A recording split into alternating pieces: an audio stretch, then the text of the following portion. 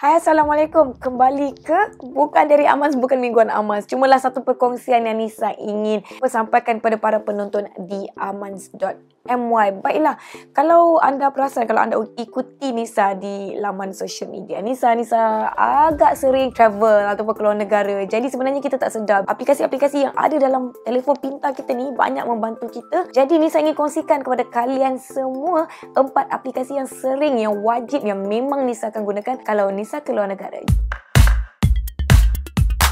Baiklah, aplikasi yang pertama-pertama-pertama yang memang nombor satu yang wajib Nisa guna bila Nisa keluar negara adalah aplikasi XE Currency di mana aplikasi ini akan menukarkan kadar mata wang secara langsung. Kita boleh senaraikan uh, mata wang-mata wang apa yang kita nak. Contohnya dalam aplikasi di telefon pintar Nisa, Nisa ada rupiah. Uh, paling latest Nisa pergi Indonesia ada rupiah, Nisa ada pound, Nisa ada uh, euro dan ada beberapa lagi lah uh, mata wang yang Nisa dah senaraikan di sini. Kita boleh save, kita boleh delete satu mata wang dan kita boleh tambah mata wang yang lain jika anda mahu. Nisa selalu gunakan aplikasi ini sekiranya kalau Nisa nak membeli belah ataupun bila-bila lah Nisa travel uh, di bawah uh, bajet-bajet tertentu bila Nisa nak beli sesuatu tu Nisa akan fikir berbala atau tidak dengan nilai yang di Malaysia dan juga nilai yang kita dapat sama ada lebih murah ataupun lebih kurang ataupun hmm, okey-okey ataupun lebih mahal. Okey seterusnya aplikasi yang Nisa selalu gunakan ketika travel ke luar negara adalah aplikasi Google Translate. Tapi sebenarnya sebenarnya aplikasi ini Nisa gunakan untuk sesetengah negara yang kurang menggunakan bahasa Inggeris sebagai perantara. Contohnya Korea ataupun Jepun. Tapi apa yang Nisa selalu gunakan Nisa selalu uh, orang kata apa cakap dalam bahasa Inggeris dan dia akan terjemahkan dalam bahasa uh, Jepun. Ataupun untuk lebih uh, membuatkan orang yang kita bercakap tu orang tempatan memahami apa yang kita nak sampaikan. Sebab contohnya kalau Nisa pergi Jepun kan dia macam kurang sikit bahasa Inggeris. Jadi kalau Nisa nak pergi kedai makan nak tengok menu menu semuanya dalam bahasa Jepun. Jadi Google Google uh, Translate punya aplikasi ni Nisa boleh gunakan untuk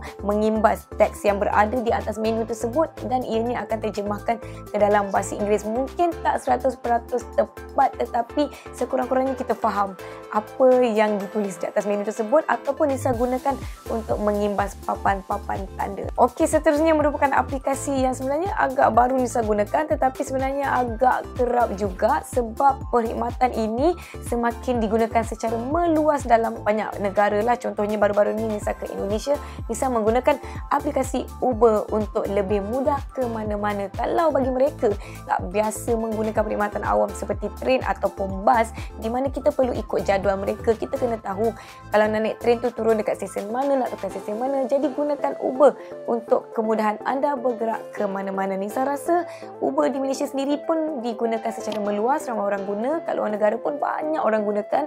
Contohnya Nisa ke uh, San Francisco Nisa guna Uber juga Nisa ke Jakarta Nisa guna Uber juga lebih mudah. Sebab apa? Sebab bila kita nak guna baru kita uh, request kita minta perkhidmatan tersebut. Jadi perkhidmatan tersebut dicas dengan harga yang Nisa rasa agak berpatutan jugalah dan anda tak perlu gunakan cash. Ataupun kalau anda ada kurang cash di tangan sebab tambang akan dicas terus ke akaun bank anda. Tapi untuk menggunakan aplikasi seperti Uber ataupun macam Grab anda boleh uh, pastikan kena pastikan kad bank anda anda diaktifkan untuk kegunaan di luar negara. Kalau tak, Kang tak boleh nak tolak duit daripada akaun bank Kang.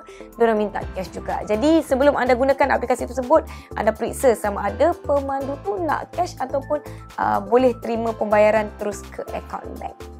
Baiklah, aplikasi seterusnya yang Nisa nak kongsikan adalah aplikasi Foursquare. Nisa tak pasti sebenarnya orang kat Malaysia banyak guna Foursquare ataupun tidak. Tetapi Nisa sangat sering menggunakannya di Malaysia baik di luar negara. Kalau Nisa ke luar negara, Nisa selalu macam, orang kata apa, kalau dalam trip yang kurang, uh, orang kata apa, jadual yang tak begitu ketat, kita ada waktu lapan dan kita tak tahu nak ke mana, macam itulah. Kalau anda tak ada hala tuju, Nisa akan buka aplikasi Foursquare dan Nisa akan lihat uh, apakah kawasan yang dicadangkan di sekitar tempat anda anda berada. Contohnya Nisa berada di hotel dan Nisa merasa macam tak tahu nak ke mana-mana, nak lepak kat restoran ke, nak pergi kedai kopi, nak lepak-lepak ke ataupun nak cari kedai-kedai perkhidmatan seperti salon dan juga perkhidmatan-perkhidmatan kecantikan yang lain. Jadi Nisa akan buka Foursquare dan Nisa akan masukkan kata kunci. Contohnya Nisa nak ke uh, salon. Jadi ia akan mencadangkan uh, mencadangkan tempat-tempat terdekat dengan anda.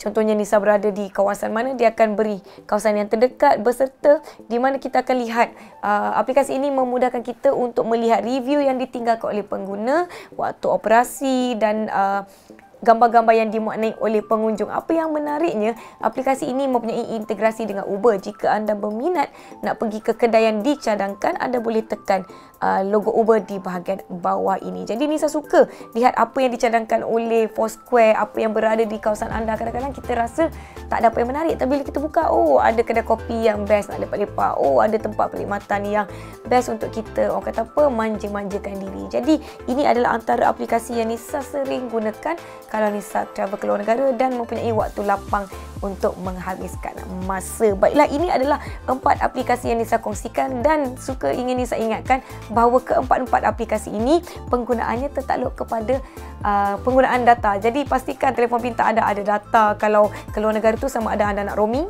ataupun anda nak beli uh, SIM card lokal ataupun anda nak sewa pocket wifi terpulang kepada anda tetapi aplikasi yang Nisa kongsikan ini memerlukan uh, kegunaan internet ataupun data di telefon pintar anda. Jadi diharapkan apa yang Nisa kongsikan ini membantu bagi mereka yang mungkin uh, kurang menggunakan aplikasi ketika keluar negara dan jika anda penonton ada aplikasi kegemaran anda ketika melancong khususnya boleh kongsikan di bahagian komen di bawah. Okey jadi Nisa nak tahu apa yang anda fikirkan. Terima kasih kerana menonton. Saya Nisa untuk Aman Ziyosh.